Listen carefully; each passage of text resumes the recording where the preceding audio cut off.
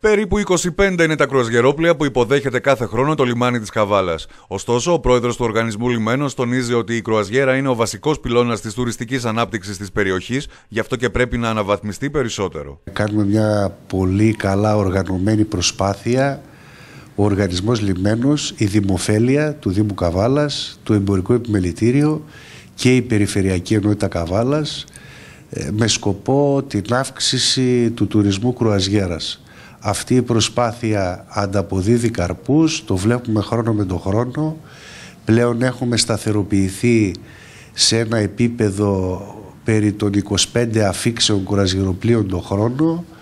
Ε, ο στόχος είναι για τουλάχιστον υπερδιπλασιασμό ε, κουραζιεροπλοίων τα επόμενα χρόνια. Η διοίκηση του οργανισμού Λιμένος Καβάλας, σε συνεργασία και με όλους τους τοπικούς φορείς, έχει θέσει ως στόχο την αύξηση των κρουαζιερόπλοιων στα επόμενα δύο με τρία χρόνια. Έχουμε στρατηγική, έχουμε σχεδιασμό, ε, ώστε τα επόμενα δύο-τρία χρόνια να έχουμε πολύ περισσότερα κουραζιερόπλια ε, στην Καβάλα. Κάνουμε όλες τις απαραίτητες κινήσεις ε, από κοινού για να εκπληρωθεί αυτός ο συγκεκριμένος στόχος ε, ο οποίος είναι ιδιαίτερα σημαντικός έτσι και ε, η προσέλκυση των τουριστών κρουαζιέρας δεν είναι μόνο το κρουαζιερόπλιο που έρχεται αυτοί όλοι είναι και πρεσβευτές μην το ξεχνάμε έτσι ε, για, το, για την ομορφιά του λιμανιού και της πόλης.